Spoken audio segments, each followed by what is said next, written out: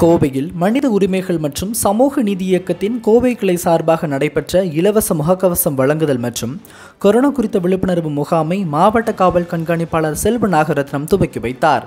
கொரோனாவை கட்டுப்படுத்த தமிழக அரசு பல்வேறு நடவடிக்கைகளை எடுத்து வரும் நிலையில் தன்னார்வலர்களும் கொரோனா குறித்த பல்வேறு விழிப்புணர்வுகளை ஏற்படுத்தி வருகின்றனர். இதன் ஒரு பகுதியாக கோவையில் உள்ள முக்கிய சாலைகளில் செல்லும் பொதுமக்களுக்கு இலவச முகக்கவசங்களை வழங்கி கொரோனா மூன்றாவது அலை பரவாமல் தடுக்கும் தடுப்பூசி செலுத்துவது சமூக விலகலை பின்பற்றுவது போன்ற பணிகளை தொடர்ந்து மனித உரிமைகள் மற்றும் சமூக நிதி இயக்கத்தின் கோவை கிளை செயற்பாட்டாளர்கள் செய்து வருகின்றனர். இந்நிலையில் கோவை உப்பளிப்பாளையம் சிக்னல் அருகே இலவச முகக்கவசங்கள் மற்றும் கொரோனா குறித்த விழிப்புணர்வு நிகழ்ச்சியை கோவை மாவட்ட காவல் கண்காணிப்பாளர் செல்வ நாகரத்னம் துவக்கி வைத்தார்.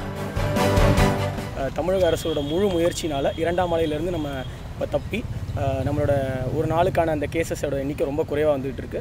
பட் நம்ம அண்டை மா மாநிலமான கேரளாவில் கூட பார்த்திங்கன்னா அவங்க மூன்றாம் மலையை நோக்கி போயிட்டு இருக்காங்க. ஒரு நாளைக்கு வந்து சுமார் நாற்பதா முப்பதாயிரத்துலேருந்து நாற்பதாயிரம் கேஸ் வரைக்கும் வந்துக்கிட்டு இருக்குது ஸோ நம்ம ரொம்ப எச்சரிக்கையாக இருக்கணும். நம்ம வந்து அதுவும் நம்ம கோயம்புத்தூர் மாவட்டம் வந்து கேரளா மாநிலத்தோட ஒரு பெரும் அந்த பார்டர் ஷேர் பண்ணுறாங்க எல்லை ஷேர் பண்ணுறாங்க அதனால் வந்து நம்ம எல்லையிலேருந்து வரக்கூடிய அந்த ஆட்களை வந்து பெரும் அளவில் கண்காணிக்கிறோம்.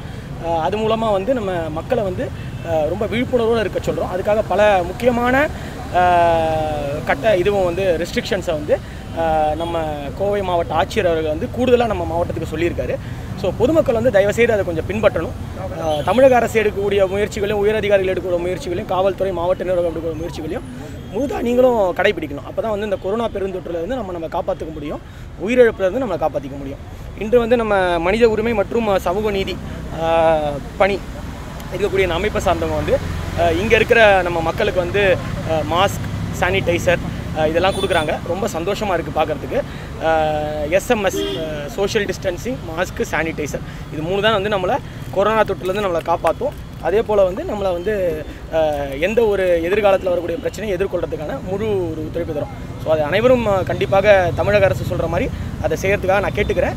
அஹ், மாண்புமிகு தமிழக முயற்சி முதலமைச்சர் எடுக்கக்கூடிய அனைத்து முயற்சிகளையும் தயவுசெய்து கடைபிடிங்க. கொரோனா பெருந்தொற்றுலேருந்து மக்கள் ஒவ்வொருத்தரையும் நம்ம காப்பாற்றணும் அதை நம்ம ஒவ்வொருத்தரோட கடமை. நம்ம எல்லாருமே அதை செய்யணும். நன்றி வணக்கம். Bye.